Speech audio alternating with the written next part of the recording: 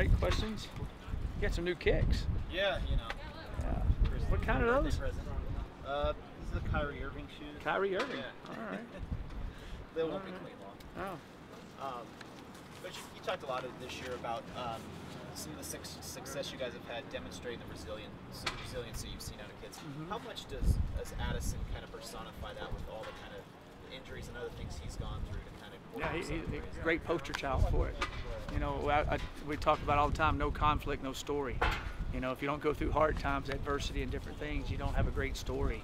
Um, of course, you'd like to do it quicker, not as, as long, but um, he's a great example of a, a young man who was playing phenomenally, then had injuries and all those types of things, and and you know now it's really three years since he was able to really play at his top speed. And last year he was coming back and ready to go, and he gets his knee torn. He's just persevered and um, just grown, and uh, now you're. And we've had to kind of bring him along this year to make sure he was complete. And he's, you know, he's starting to come into phenomenal form, and um, he'll have a finish out the year good, and he'll have a whole nother year after that. So it's really good to see. How's Jay doing? Uh, Jay has a concussion. He's going through the whole protocol, and we'll see how that comes about. Is that could he possibly play this week? Um, it depends on the protocol. Um, it depends on what happens in the next couple of days. There's a possibility.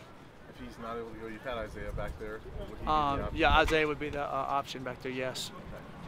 Is Tedrick an option back there? I know he was getting some reps there in fall camp. Uh, Tedrick Thompson. Uh, no, not right now.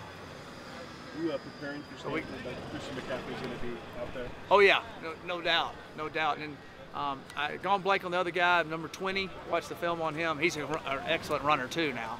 Um, but you know, Christian, they move everywhere. So uh, and getting the ball a lot of different places. We're definitely compare, um, preparing for Christian to be there for sure.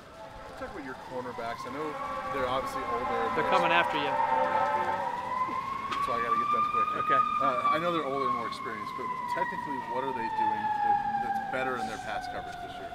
Well, you know, we, we they did, you know, decent last year, and um, you know they're making plays. You know, and then of course our receiving corps has gotten better. So when your competition in practice every day has gotten better, then you get better. So that's a combination of how that happens, and um, and so that's I think they their competition in practice has had made them get a little bit better, and and then they're older and they're a little stronger and they're not as nervous sometimes, and they've seen things over. Um, so I think that, that that helps a lot. And we're you know we're getting good pass rush too, and so that's been a big help. How much? Obviously, those two groups help each other, but how much does that allow you guys to do more things up front when they're covering like they are? the Uh, it, it allows you to uh, do that. You can, uh, you know, we can blitz a little more because they can cover well, um, and then you know, and then they're doing a good job when we're in when we're not blitzing in coverage. So um, they, they they work hand in hand. You know, it works hand in hand. Mike, after watching the film the other night, how did your defensive line look against that Arizona State running game? They, they did really well. Um, we they did they were very stout in there. Our linebackers fit up. Um, you know, excellent. We had the one play where the ball bounced out where we didn't contain it. Um, that really wasn't the inside's fault. Um, I thought they I thought they played really well. I was very pleased with how they played. They, they needed to play like that for us to be successful the other night. Has that group gotten better as the years? Yes, they have gotten better. Yeah, they've gotten better, and uh, you know sometimes the D line kind of everybody has to kind of play themselves into shape. But the D line's the hardest area because in a game it's going fast and having to sprint and come back, and sprint and come back, and they're they're in better shape, and we're able to rotate some guys, which helps us um, stay fresher longer. Is this the first time your D line might match up physically with Stanford since you've been here? I mean, as Yeah. far as size and strength, is this Yeah. first time you can say Yeah, we, we can match up with them. We feel like strength and size wise, and and uh, feel, we feel good about that. They're still very good though. What do you think it does for your team mentally when you go out and, and physically play like that against the team?